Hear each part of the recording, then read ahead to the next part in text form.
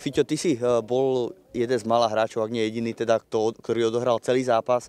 Začal si samozrejme v strede polu a nakoniec si sa presunul, tak najskôr nás hodnot ten zápas. Teda bol to asi zápas dvoch polčasov, dá sa povedať. Tak, ako si povedal, zápas dvoch polčasov, pretože prvý polčas sme pôsobili tak trošku zaspato, akože nechcem sa vyhovárať, že to bol prvý zápas alebo tak.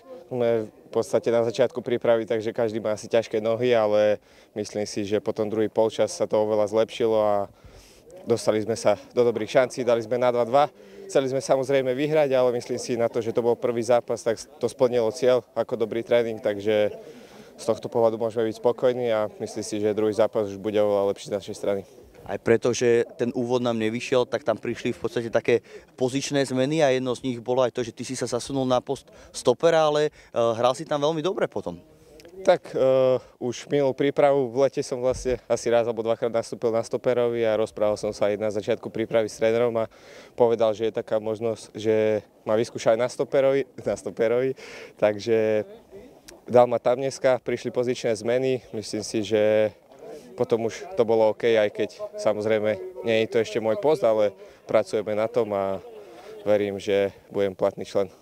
Aj vlastne si tam mal viaceré také mikrosúboje jeden na jedného, ktoré sú samozrejme nepríjemné pre braniaceho hráča, najmä keď je to vo vlastnej 16 ale poradil si si aj s tými takými rýchlo nohými hráčmi supera? Tak nebojím sa v prvom rade hrať jeden na jeden a z toho stredu pola mám také možno trošku lepšie čítanie hry, takže Išiel som od každého súboja k súboju, snažil som sa všetko vyhrať, niečo sa mi podarilo, niečo nie.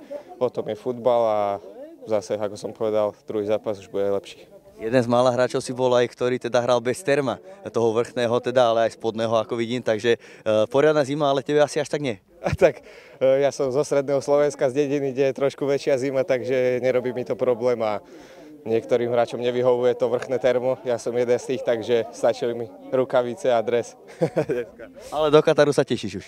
Ale určite, to, na to sa asi všetci veľmi tešíme, na kvalitné tréningové podmienky, zmenu prostredia a samozrejme kvalitné zápasy, ktoré nás posunú dopredu.